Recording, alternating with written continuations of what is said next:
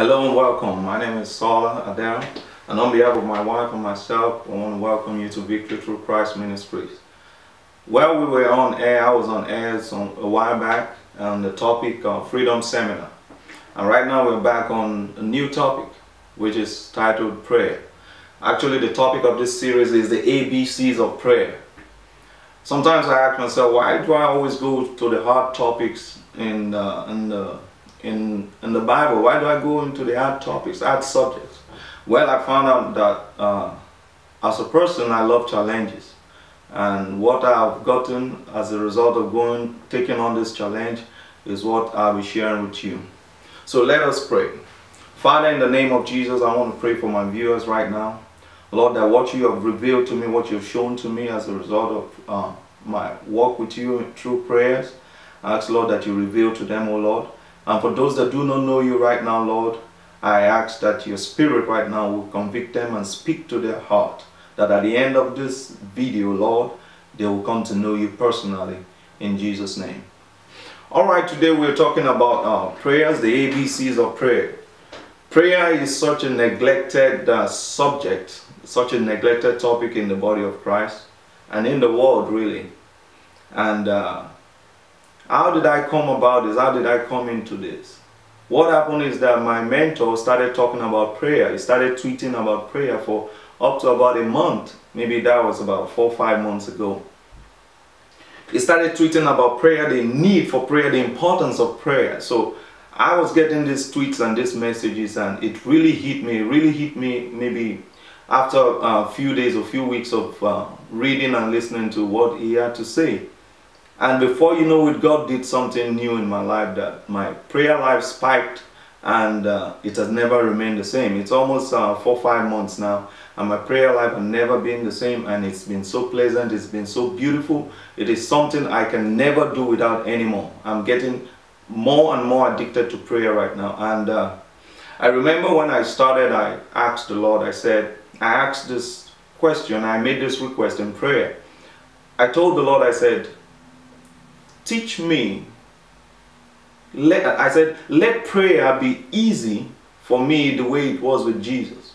When Jesus was on this earth, prayer was his delight. Prayer was his lifestyle. So I asked the Lord, let prayer be my lifestyle. Let prayer be my delight. And I tell you, God answered that prayer. And right now, I can't do without praying.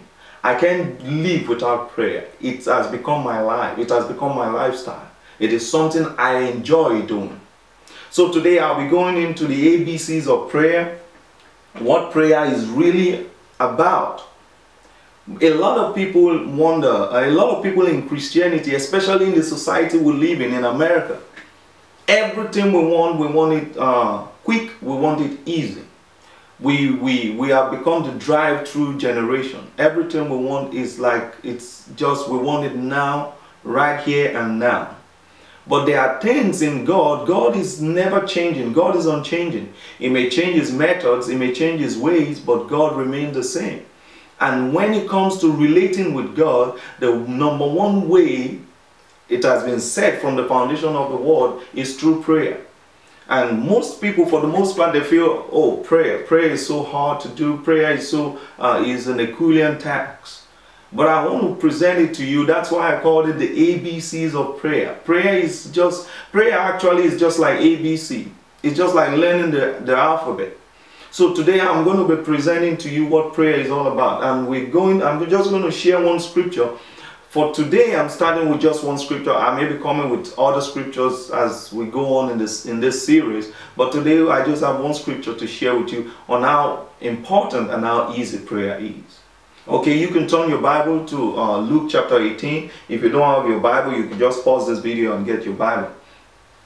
In Luke chapter 18 verse 1, the Bible says, And he spake a parable unto them to this end, that men ought always to pray and not to faint. That is, men ought always to pray and not to faint. That is Jesus talking there. If you look at your Bible, you see that you see that it's written in uh, in red ink. That is, Jesus was sharing the, this parable of how important prayer is. most people in, in, in Christianity today, most people in the world today live their life without prayers. But what I come to realize, what I come to understand is that people in other religions, people in other religions, they pray so much. They pray, uh, some of them pray five times a day, some pray four times a day, some go uh, days on prayer, some goes days praying for days, some pray for 12 hours, they pray so much. And we call them the counterfeit religions. We call them uh, copycat religions. We say Christianity is the, is the main religion. And Jesus here is saying that men ought always to pray and not to faint. So why are we not praying? I believe prayer is what helps us on this earth. One thing is this, we are spirits living in a, that possesses a soul and we live in a flesh. So the whole essence of you and I is the spirit. The spirit is living, it, it embodies a soul which lives in the flesh on this earth. That means this earth really is not our uh, habitat. This earth really is not our home. So for us to survive on this earth, we have to uh, understand, we have to fine tune our spiritual uh, being, which is the whole essence of us. And how can we fine tune our spiritual, the spiritual part of us, our spirit man? How can we make our spirit man come alive? It is by communicating with the maker of all spirits. The Bible says God is spirit, and they that must worship him must worship him in spirit and in truth. We have believers today, just like I was, just recently, just like I was. We go through Monday through Sunday without praying. Even when we're going to pray, we just be praying for five minutes. We pray like we we we we just uh, like we pray just like we're sending a text message. We pray without communicating. We pray without listening. So Jesus here is saying, men not always to pray and not to faint. You may engage in religious rites. You might go to church. You might chase after the pastors. You may love the message. You may congregate with other believers. But there is a, an important task for every believer. And when, when I talk about religious rites, a lot of us go, we participate in religious uh, rituals and rites, but we have no relationship. Prayer is talking about relationship. If you're going to, if you're going to communicate, if you're going to walk with God, listen to me, you cannot walk with someone on a journey without communicating, without talking to that person. So if you're walking with God, there must be a means whereby you communicate with Him. Most of us just run off, we live our life like it doesn't matter. We depend so much on the government, we depend so much on our family, we depend so much on our own abilities. But God is saying, Come and walk with me. So Jesus here, I'm going to share the, I'm going to read the uh, amplified, the amplified um, uh, Bible to us on this same uh, chapter and verse. It says, also, Jesus told them a parable to the effect that, that they ought always to pray and not to turn coward, faint, lose, faint, lose heart, and give up. That is, Jesus saying that you don't have to be a coward. That is, if you don't pray, that means you be, you becoming like a coward. You you're fainting, you're losing heart and giving up. It's a man not always to pray and not to faint. All right, what is prayer? I know you have that question in the bottom of your mind. What is prayer? Simply, I'm going to put it to you prayer is communication with God.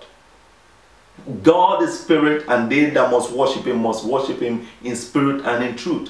You can worship God by uh, reading, uh, just reading books, going to church, doing uh, all these religious rites. It's a day that must worship Him, must worship Him in spirit and in truth. If you look at the book of uh, Revelations, John the Apostle said, I was in the Spirit on the Lord's day and I heard. You cannot hear until you are in the Spirit. You cannot hear from God until you are in the Spirit.